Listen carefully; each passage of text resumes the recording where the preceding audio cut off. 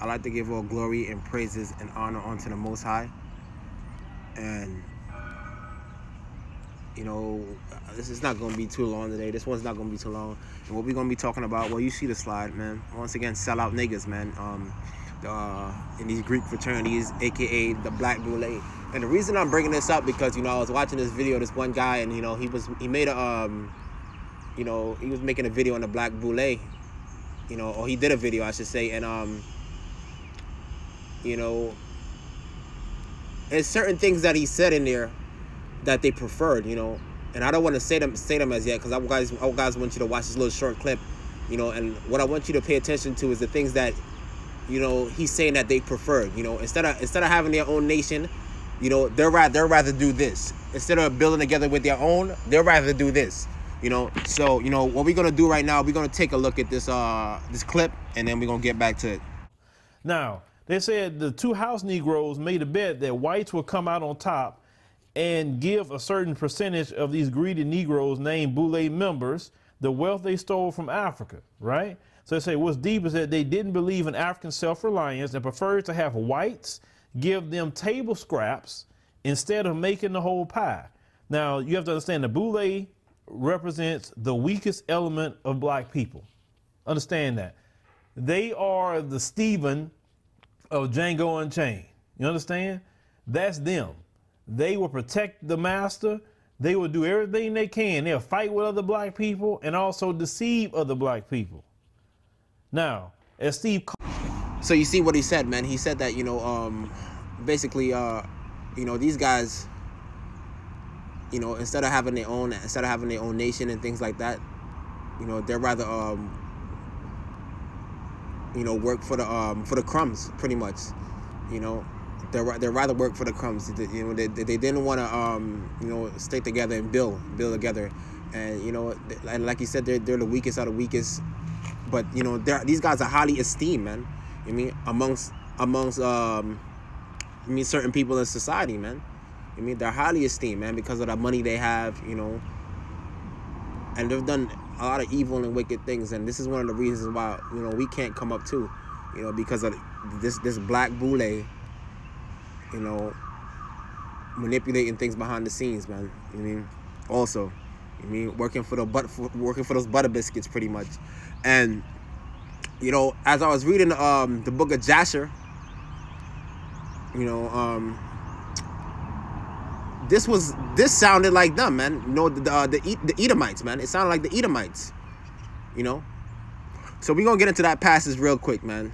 You know, so this is the book of Jasher chapter 57. Uh, we're to do 38 and 39. And it says, And it came to pass in those days that the children of Esau resolved to crown a king over them in the land which they became possessed. And they said to each other, Not so, for he shall reign over us in our land.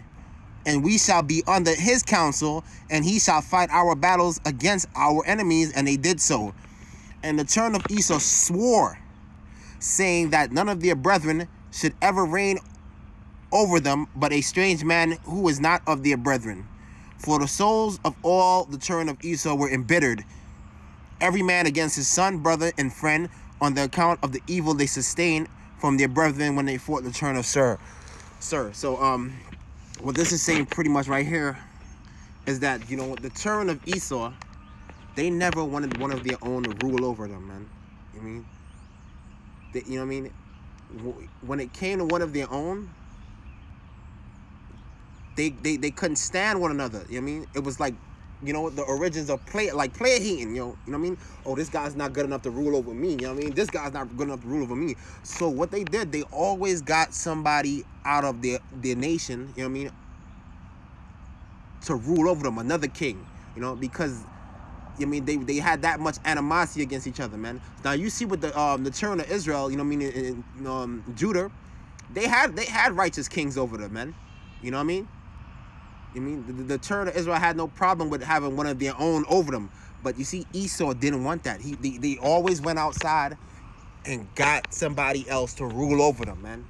You know I mean? So that, like I said, that's the origins of player hating to me, man and and that and you see that with the black. I mean, when when he, when he, when he mentioned those, you know, those things about the black Boule, that automatically that's what popped in my head. I mean, like that sound like Esau, man. I mean, that sound like Esau. You know, and like they said, you know,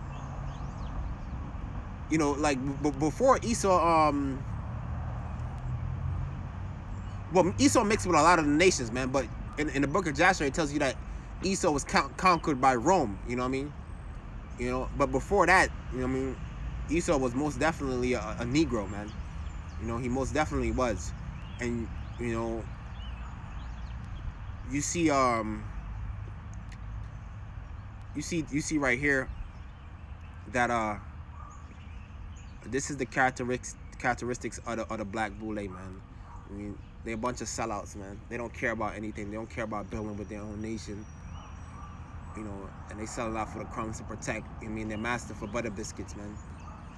You know, and like you said, they're the worst out of the worst, man. And they still out here, man. These, these, these guys are definitely Edomites, man. You know what I mean? That have no regard for their, their nation or their people, man. I mean, that fool, that, that he, he said they're gonna give them the crumbs of what they took from Africa. Like, you, you, you niggas are a sad case, man, and you gotta pay for what you did, man. I mean, but you know, this one ain't gonna be too long, man. I just have to, you know me, I just have to point that one out. And, um, you know, and one more thing, the, the only reason they respect these guys in the boule is because these guys are sellouts, man. I mean, yeah, yeah, they may give you a little money, they, they may they may elevate you, but they they respect you because you you you a sellout, man. You know what I mean? You will sell your own nation of people out, man. I mean, uh, you know what I mean? And, and, and be honest with you, they really don't even have respect for you. They re, they respect you because you know what I mean. Yeah, you a sellout, but in, in, in, within the very same breath, they still don't respect you. You know what I mean? Because who would respect somebody like that, man? You know what I mean? Yeah, yeah, yeah. Yeah, they went. They, they got you amongst the, the, the, the uh, their circle. You know what I mean? They give you a little money, but they still don't respect you. They don't even let you niggas in on in on the on, on the juicy details, man. you know what I mean? See, you niggas, you niggas are a sad case, man. And that's that goes back to my video. Like, yo, you could be famous within your own nation, man, but you choose to be a, a um, you know what I mean, a coon, man. You know I mean? You, you, you choose to be Snowball from Django. So it's all praises to the Most High, man. You know I mean? This one ain't gonna be too long, man.